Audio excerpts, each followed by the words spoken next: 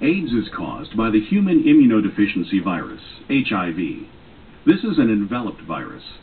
The envelope is derived from the host cell membrane with viral glycoproteins such as GP120 and GP41 inserted into the membrane as the virus leaves the cell. The core is composed of P24 capsid protein and the P17 matrix protein helps maintain viral structure. Inside the core are two identical copies of single-stranded RNA viral genome and three enzymes, reverse transcriptase, RT, protease, PR, and integrase, IN. To establish infection, HIV must first attach to its host cell. Attachment occurs by interaction between GP120 on the surface of the virus and the CD4 antigen receptor on the surface of the host cell. In addition to the CD4 receptor, there must also be a co-receptor on the host cell.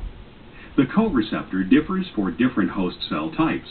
In T lymphocytes, the co-receptor is called CXCR4, whereas on macrophages, the co-receptor is called CCR5. After attachment, the viral envelope and host cell membrane fuse, resulting in entry of the virus into the cell.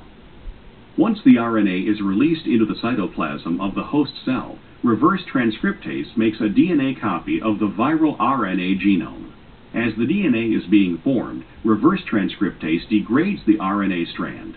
A complementary DNA strand is then added by the reverse transcriptase, and the ends of the resulting double-stranded DNA segment are joined non-covalently.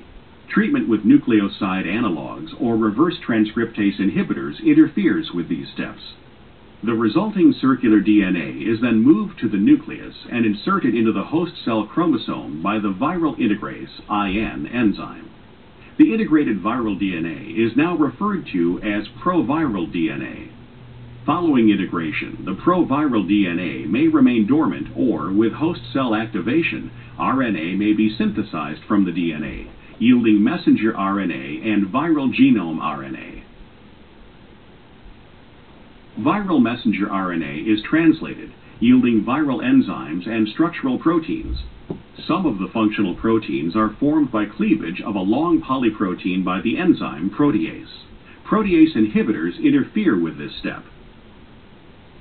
GP41 and GP120 are inserted into the host cell membrane, and the structural proteins surround the viral RNA to form the core. Finally, the virion is released by budding.